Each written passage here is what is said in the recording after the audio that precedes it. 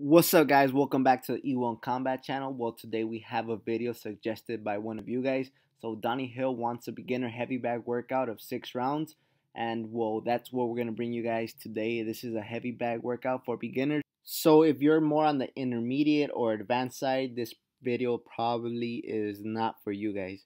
But yeah man, we're going to give you guys a heavy bag workout for beginners and we're going to start off with a very simple combination which is the jab jab cross. So the first jab you want to throw it upstairs aka the head and then you want to change levels and throw the jab downstairs aka the body and then you want to come upstairs with that straight right. So if beginners are watching this video when I say that to throw a punch upstairs that's pretty much implying that you're gonna go towards the head.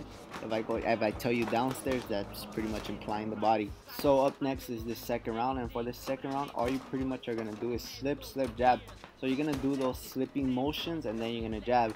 And the reason why I like to incorporate something like this is because of the fact that a lot of people when they start working the heavy bag itself they like to be very stationary and not really incorporate defensive movements mostly because of the fact that the heavy bag is not really going to hit your back but in a fight, you're either going to be on the offensive or the defensive. And for the next round, we have this double jab straight right. And the reason why we started incorporating this double jab is because of the fact that the double jab pretty much is used to close distance and the jab in general is a measuring tool for your distance. So his first jab misses on purpose just to kind of measure out the heavy bag and the distance and then once he's able to touch the heavy bag with the second jab lets go that straight right. Up next, I have this one-two check hook, and the reason why I incorporated this check hook is because of the fact that I want to incorporate as many aspects as I possibly can to this routine. That way, the beginners could get used to these other components of boxing. For example, this check hook right here could help him escape from his opposition by creating a new angle, or he could even attack his